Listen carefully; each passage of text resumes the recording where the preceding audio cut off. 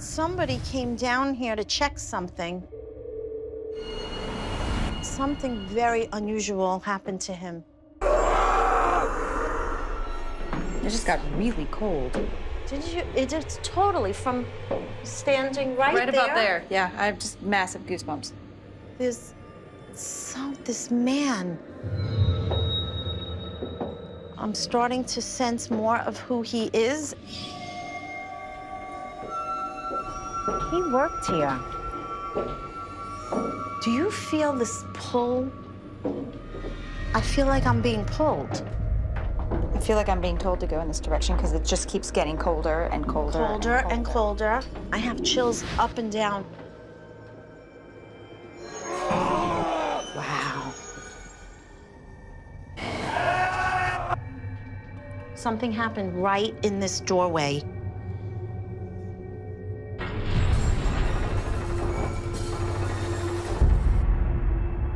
Okay, listen what I'm getting. Listen what he's telling me.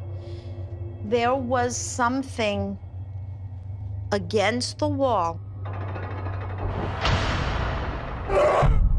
Somehow it fell forward, it hit a button. My whole shoulder and my whole one right side of my body is like, I can't describe it. It's like crushed or this man got killed right here.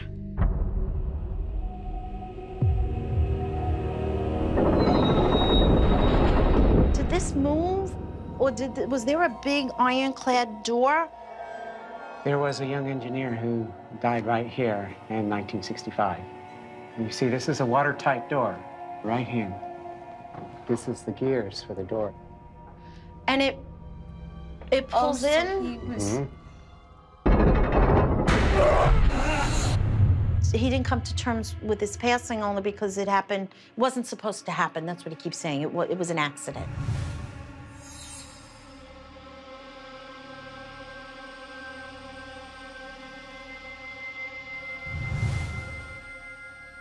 i'm telling you there was not a lot of people down here when this happened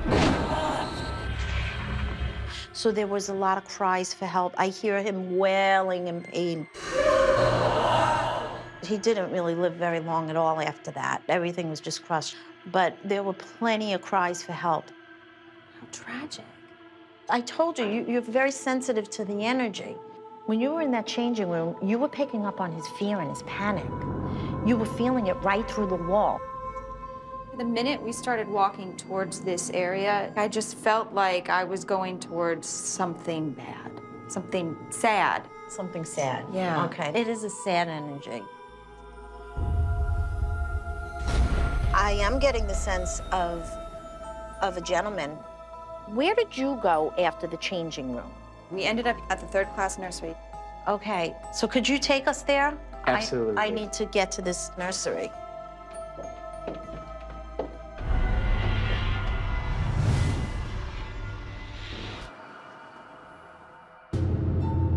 This is, this is key. Something is very key right here. Tell me a little bit about your experience. First time I ever came on the ship and we did our own little ghost hunting, we ended up here. And um, I wanted to get into this room. I was on my knees actually trying to like somehow get the lock open. Why did you want to get in the nursery? What led you? What At possessed the time, you? I felt like I had to. I immediately was drawn and I was like, I need to go over there and I need to get in that room and I need to see what's going on. Like something's not right. I needed to see what's on the other side of that. door. Okay. I am sensing the energy of one of the children who played here.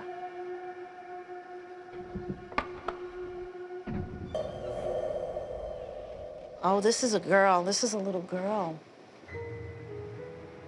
Okay, this is what I'm getting. This is what I'm understanding. I kind of feel like there's some kind of link with this child and what's key to finding the connection with the man. Is this off limits?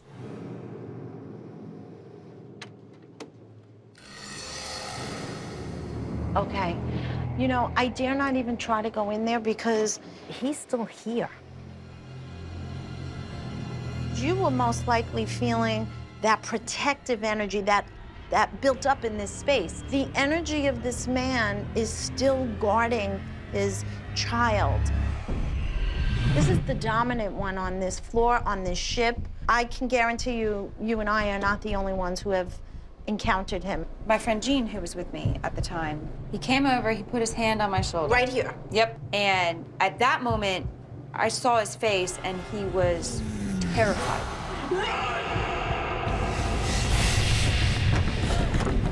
And he just took off Where? down here? the hallway. Yeah. We have to go there. Okay.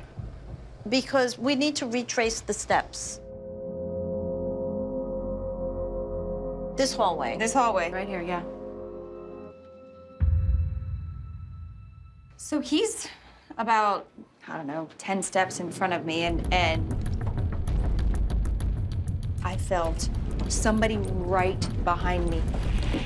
And I stopped for a second and I turned around, and running full speed towards me was that man. Full speed.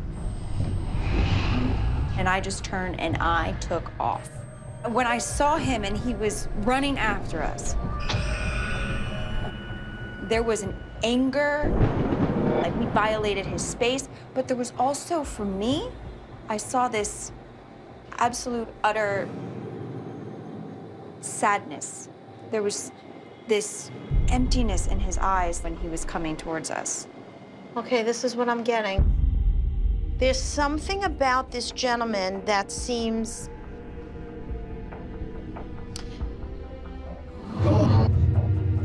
I can't hear an actual accent, but there's a there's a foreign feeling to this man. The way he looked, he had very angular features, very precise angular features.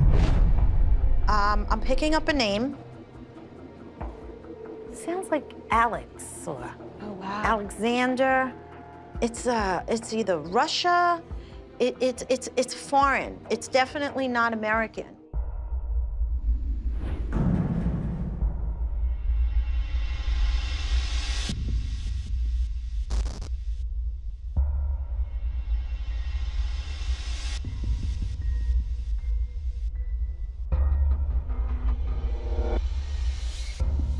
He paces back and forth and back and forth.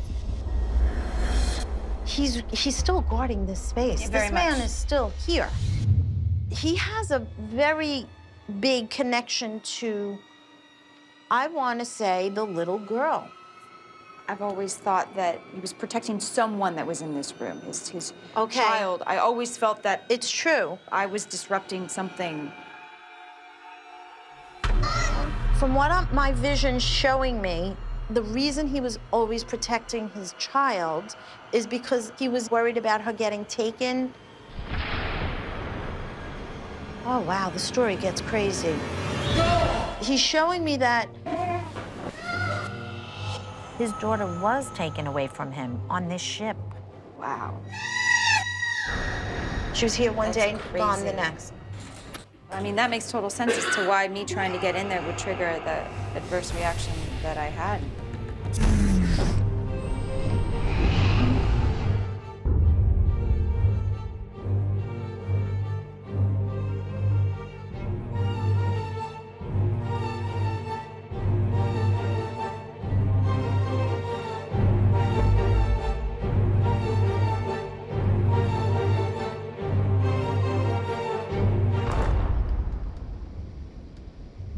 He died soon after that. His spirit came back here because this was the last place he saw his daughter. So he needs to be freed from this space. Wow. I just got chills. That would make sense. Now, let me ask you something. How did this leave you? Well, you know, when you've been talking about somebody that was angry and somebody that, you know, you've you felt like they were this angry person. I mm-hmm. kept thinking, okay, it must be him. It must be him. But I didn't. I wasn't sure. I mean, everything that you just said completely validated everything that I experienced and that I felt. So, Kristen, I was compelled today to bring you something. And what it is, is it's an absolutely beautiful crystal. This is clear selenite. And I'm going to actually hand this to you. I want you to feel it. It has an amazing vibration. What selenite does is it clears confusion of consciousness. And I really feel this man is confused. Yeah. You know, in his mind, he's still protecting his child. I really feel that it would be a great idea for you to go and bring that as a peace offering. Mentally, tell him to go to the better place and that his daughter's not here any longer. When you do that, you're putting the intention out there of what you would like to see happen. Okay. And so that's going to be your closure for this situation. Okay. I think it's a wonderful idea. It was great having Kim validate my experience, seeing the same gentleman. That was an experience that I truly did have, and it was real, and I'm, I'm beyond appreciative. I absolutely feel that I have the closure that I was looking for. I can now really move on knowing that um, I have made peace with that and I've made peace with him. I'm lost for words. It was an amazing day. And I am keeping Kim's number in my phone from now on.